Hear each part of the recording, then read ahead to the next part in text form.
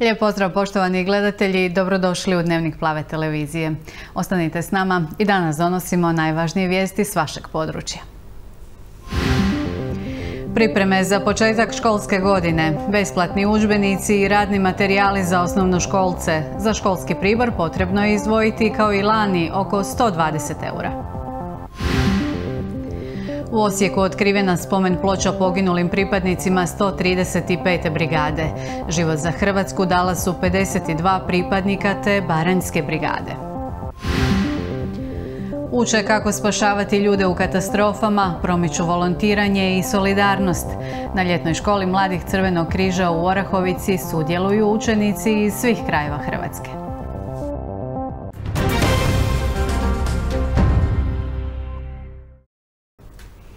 Nakon što je prošli tjedan proglasio prirodnu nepogodu za većinu Virovitičko-Podravske županije, župan Igor Andrović proširio odluku i na tada izostavljena područja. Zbog suše je tako prirodna nepogoda od danas na prijedlog gradskih i općinskih povjerenstava proglašena i u općinama Čačinci i Voćin te gradu Slatini.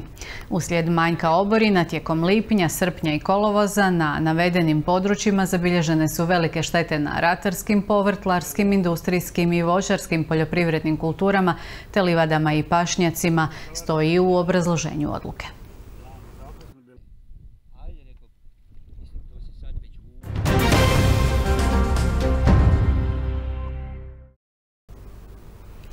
9. rujna počinje nova školska godina i učenici, ali i njihovi roditelji pripremaju se za prvi dan škole i povratak u školske klupe, a ta priprema podrazumijeva i nabavu udžbenika, radnih bilježnica i pomoćnog nastavnog materijala.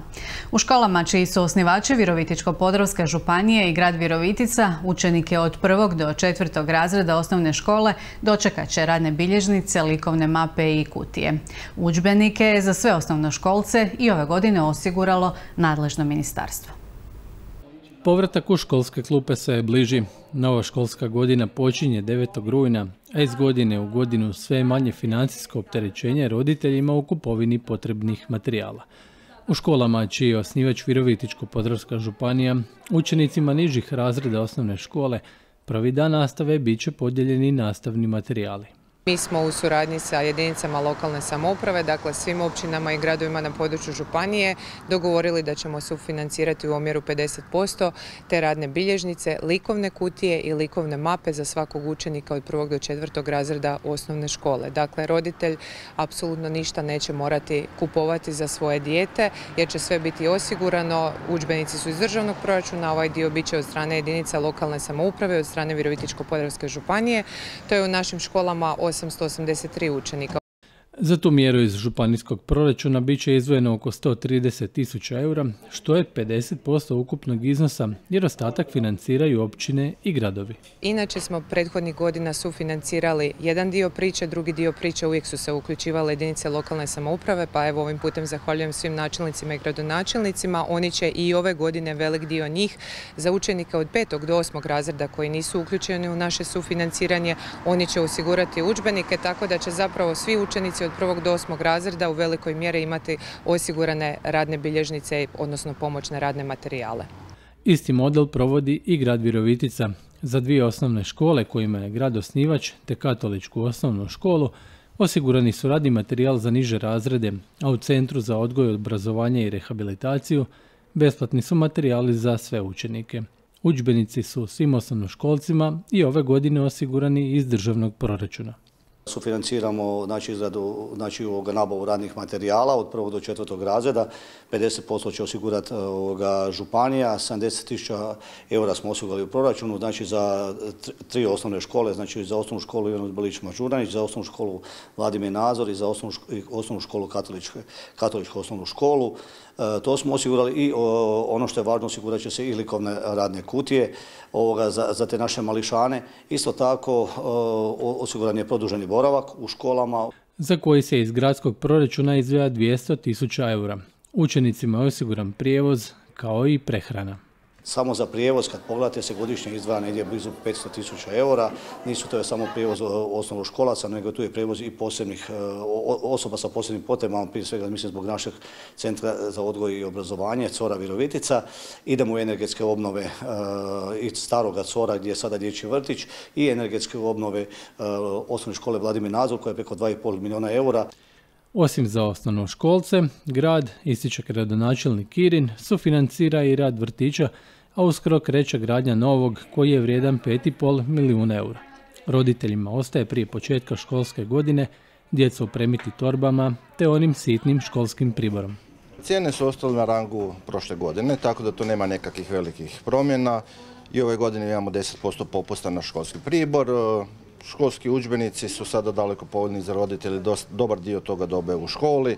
Osnovna škola do četvrtog razreda dobije udžbenike radne, od petog do osmog dobe samo, rad, samo udžbenike. Srednja škola mora kupiti, ali oni vrte polune manje više, tako da je to tu negdje. Uglavnom se ovaj komplet e, radnih bilježnica od petog do osmog razreda s omotima kreće negdje oko 120 eura. Što je u konačnici gotovo jedini trošak kako bi učenici školu dočekali spremni.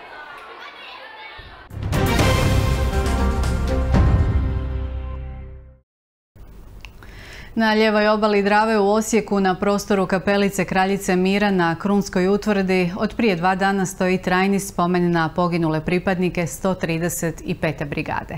Postrojba je bila najpoznatija pod imenom Barenska brigada jer su je u najvećem dijelu sačinjavali prognani baranjci. Svečanost otkrivanja spomen ploče započela je čitanjem imena 52 poginula pripadnika, a spomen ploču otkrili su sin i unuk poginulog branitelja Rudolfa Banića. Obitelj, suborci, prijatelji poginulih pripadnika 135. brigade, ratni veterani iz drugih postrojbi, izaslanstva Osječko-Baranske županije i grada i brojni drugi okupili su se 26. dana kolovoza na prostoru kapelice Kraljice Mira na Krunskoj utvrdi. Nakon intoniranja hrvatske himne pročitana su imena poginulih pripadnika Baranske brigade. Rudolf Banić, Ferenc Bede, Josip Bužbaher, Ivan Čališ, Josip Čerkez, Tihomir Damjanov, Ukupno 52 imena, 52 hrvatska viteza koji su poginuli u obrani domovine kao pripadnici 135. Baranske brigade, poznate i samo kao Baranjska, s obzirom da su je sačinjavali većinom prognani Baranjci. Prvi Baranjski bataljon, samostalni Baranjski bataljon od pripadnika prije svega Baranjaca, 98-9% Baranjaca, prognanih Baranjaca koji su praktički izgubili sve svoje, ali su došavši ovdje u Osijek znali da jedino tako s puškom u rukci obranom Osijeka i Hrvatske može osigurati i svoj povratak nazad u Baranju. Što su na koncu i ostvarili. Postrojba je vrlo brzo prerasla preko tisuću i nešto ljudi, formirana je 135. brigada koja je nastavila držati i ovu crtu i sva bojišta diljem Hrvatske od zapadne Slavonije, istočne Slavonije do, do Posavine, Hercegovine i tako dalje. Ratni zapovjednik prvog samostalnog baranjskog bataljuna s ponosom je istaknuo da su bili vrlo uspješni u diverzanskim djelovanjima, ali i u napadnim. Odmah po formiranju postrojbe prvog samostalnog baranjskog bataljuna praktički započijemo sa diverzantskim akcijama po Baranji, po prije svega kroz Kopački rit. Jednostavno ne dozvoljavamo, znači aktiv, provodimo aktivnu obranu i na taj način ne dozvoljavamo neprijatelju da stabilizira crtu. On je htio praktički spojiti snage iz Baranje sa snagama iz Istočne Slavonije, odnosno odavde preko Kopačkog rita, tako da smo i 18.12.1991. uspjeli praktički prvu pobjedu na ovim prostorima Istočne Slavonije pobijediti tada daleko nadmoćnijeg neprijatelja i pokazati da Hrvatska vojska može i u napadnim djelovanjima uspješno djelovati. Ne zaboravljaju svoje ratne uspjehe, ali niti svoje stradale suborce, zbog čega su se upravo i okupili na ovom mjestu na svečanom otkrivanju spomen ploče, trajnog spomena poginulim pripadnicima Barenske brigade. Spomen ploču otkrili su sin i unik poginulog branitelja Rudolfa Banića.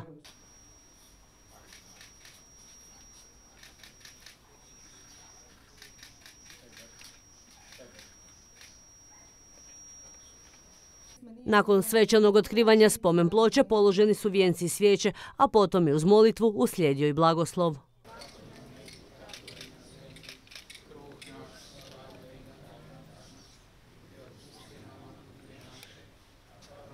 Predstavnici županijske i gradske vlasti ovim su putem odali zahvalu pripadnicima 135. brigade za ratni doprinos u obrani Osijeka i osječkog područja. U kojoj su sudjelovali hrabri baranjci i u nekoliko, e, naravno, oslobodilačkih akcija, odnosno potiskivanju neprijatelja od samog grada Osijeka, konkretno iz Podravlja i Tvrđavice, gdje u ključnom trenutku bi zaista grad Osijek i centar grada Osijeka bio na dometu samih i snajpera i e, puščanog zrna. E, brigada je evo, nešto kasnije rasformirana, odnosno prešla u domobransku pukovniju. Drago mi je što smo danas e, ovdje na svečanom otkrivanju spomen ploče svim poginulim i umrlim pripadnicima 135. Barenske brigade koja je dala značajan obol obrani grada Osijeka i praktički nakon pada Baranje držala ove sjevernu liniju fronta e, u Osijeku i znajući da postoji velika e, vjerojatnost da će i morati dati svoj život. Mnogi su i dali. U njima trebamo tražiti uzor, biti im vječno zahvalni. Inače, postavljanje spomen ploči inicirali su članovi udruge 135. Baranske brigade Hrvatske vojske na čelu s predsjednikom Josipom Kamenarom i od sada ona stoji u spomen ploče svih brigada koje su branile i obranile Osijek i Osječko područje.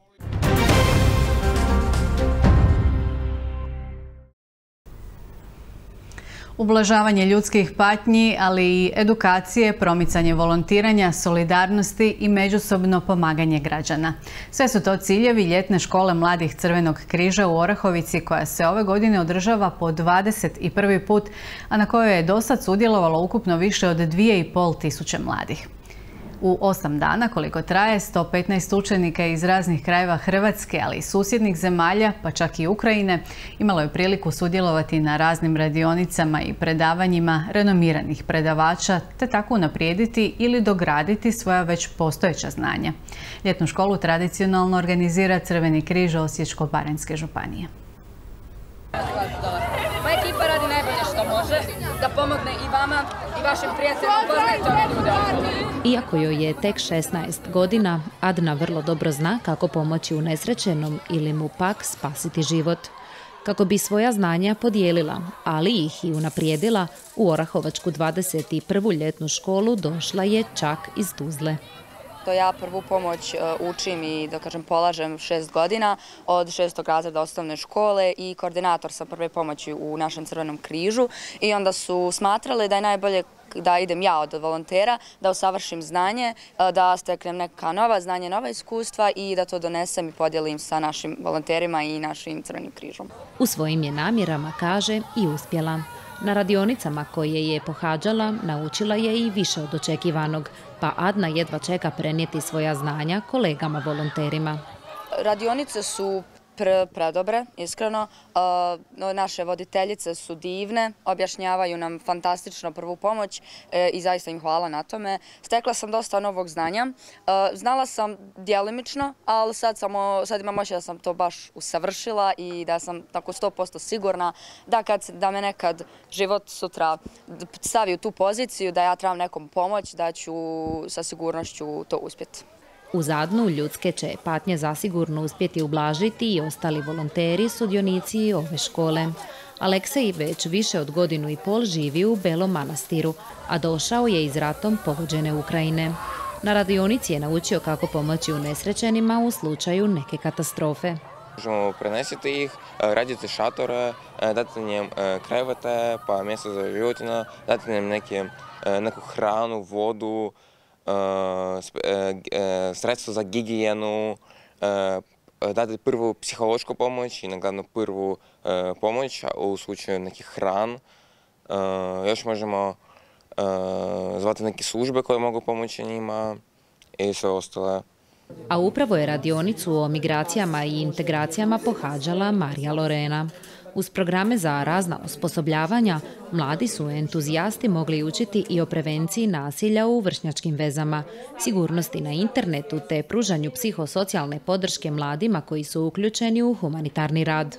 Naučili smo neke vrste migracija, sam pojam, kako vrste u biti integracija, kako se povezati s ljudima, kako im pokazati u biti da su dobrodošli u društvo. Također smo obavili edukaciju o lancu trgovanja ljudima. Naučili smo neke načine vrbovanja, tranzita i općenito da su migranti rizične skupine za ovaj, upad u trgovački lanac i u biti stekli smo osnovno znanje na toj tematici. Programi nisu svake godine isti, nego se razvijaju sukladno stvarnim potrebama društva, sukladno potrebama zajednice, identificiranim e, problemima. Programi su e, prva pomoć, terenska jedinica, e, realistični prikaz ozljeda, preventivne programe i Hrvatskog crvenog križa i migracije, odnosno u čemu je razlika ako sam različita. Sad radimo otvoreni prijelom potkaljenice, koristimo smjesu za lažnu kožu, radi se od u biti tapetola, ljepilo za tapete, ovaj, vode i pudera, da to smo nekako našli da nam je najbolje u biti. I ovaj, e, još imamo umjetne kosti koje ćemo nadodati tu. Imamo e, smjesu za krv koja je u biti vazelin pomješana sa bojom za jestivom bojom.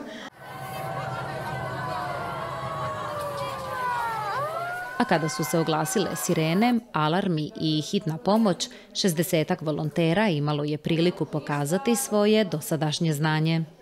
U smo simulirali situaciju e, potresa te onda naknadnog urušavanja određenog dijela prostora. Simulirali smo djelovanje sa drugim e, službama u sustavu civilne zaštite gdje su nam oni omogućili ulazak u e, prostor koji su oni prijetno osigurali. Ekipe terenskih jedinica su pripremile šatore te krevete za izmještaj određenih osoba. Također su osigurale timove za transport tih istih određenih osoba na nosilima. Osim što prenose znanja, u ovoj školi za cilj imaju izgraditi mlade kao osobe, povezati ih, razvijati prijateljstva i poticati mrežu mladih gdje upravo oni jedni drugima postaju veliki motivatori.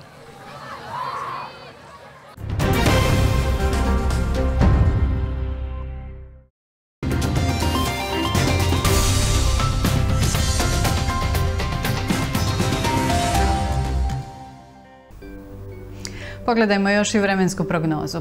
Sutra će biti pretežno sunčano, a u većini krajeva i vruće. Uz lokalno jači dnevni razvoj oblaka, pljusak s grmljavinom moguće ponajprije u Dalmaciji.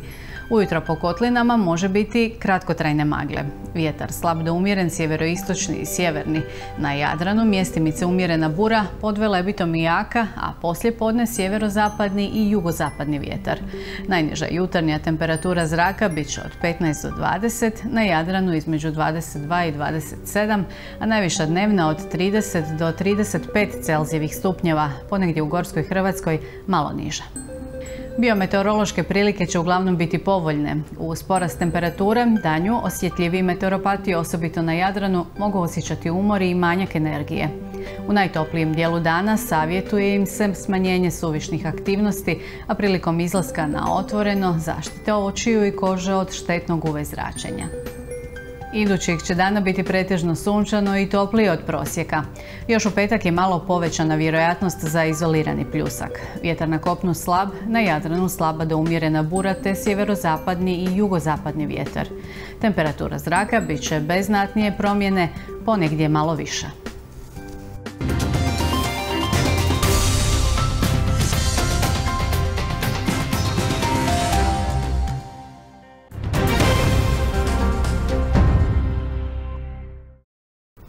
Toliko za danas, gotov je dnevnik. Hvala vam na pozornosti i do sutra. Lijep pozdrav!